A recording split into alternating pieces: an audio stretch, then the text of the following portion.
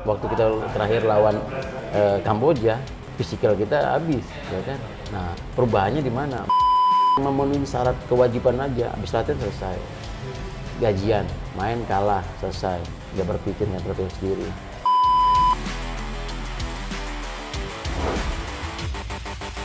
Hampir sebagian karir dari uh, Bang Ilham ini kan dihabiskan di Persita ya. Ya, hampir sebagian, hampir ya sekitar hampir 20 tahun lebih lah di, di Persita Tangerang. Seberapa cinta nih sama Persita? Wah, kalau dibilang cinta sih Tangerang sendiri udah seperti kampung halaman saya yang kedua walaupun saya berasal dari Palembang itu aja jadi cintanya ya hampir sama sama cinta kampung sendiri gitu Di masa sekarang nih sepertinya striker-striker lokal sudah, sudah hilang ya. Ini menurut Bang Ilham sendiri apa sih penyebabnya gitu? sebenarnya sih nggak hilang cuman eh, mereka satu kurang apa maksim- memaksimalkan eh, memaksimalkan dalam arti yang di- diberi kepercayaan ke seorang pelatih bagaimana eh, seorang menjadikan striker yang bagus.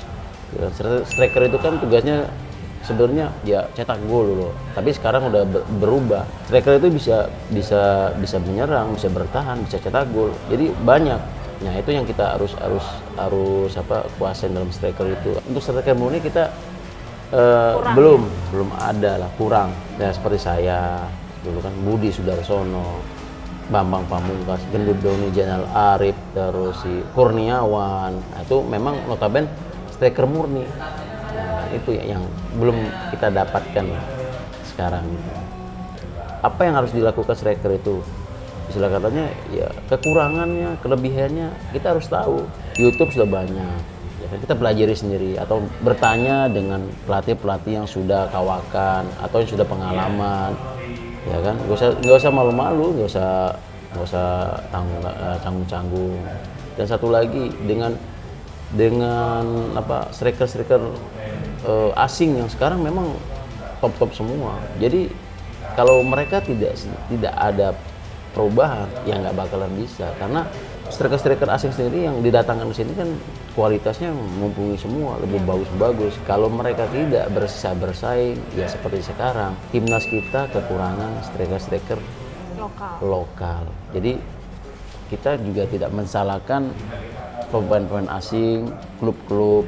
Karena klub-klub sendiri dituntut lebih ba- lebih bagus karena di saat tim bagus dan menang sponsor kan banyak Betul. ya ya kan? Tapi kalau strikernya lokal terus tidak ada gol tidak bagus mereka mau membuat apa? Sedangkan pembiayaan sendiri sekarang ada sponsor. Nah makanya dari saya bilang striker itu kebutuhannya apa?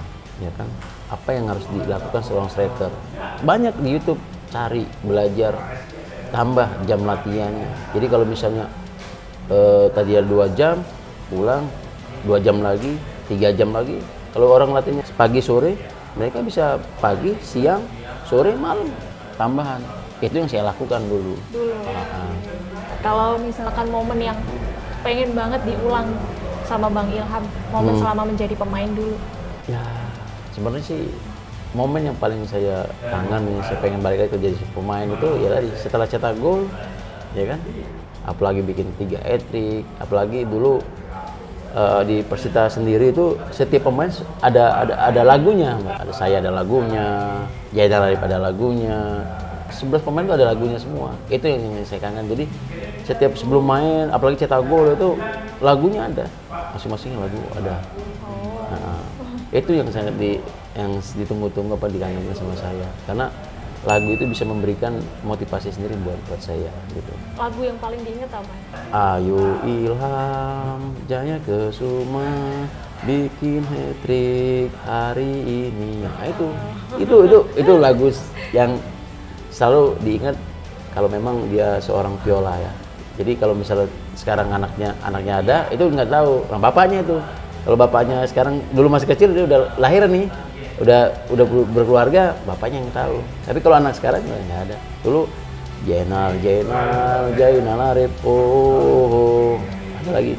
Sam, eh, hitam manis, hitam manis, yang hitam manis, Samdega mau jai, Samdega mau banyak itu, Maman, Maman Bogel ya banyak. Jadi Bala, Ahmad Kurniawan, eh, almarhum. Jadi semua pemain Persita itu ada lagunya. Beda mas sekarang memang ya nggak ada. Terima kasih Oke, Bang Ilham atas waktunya ya. Sukses selalu untuk karirnya. Salam untuk keluarga di rumah. Oke, makasih Mbak. Sampai jumpa di Kamis Legenda minggu depan.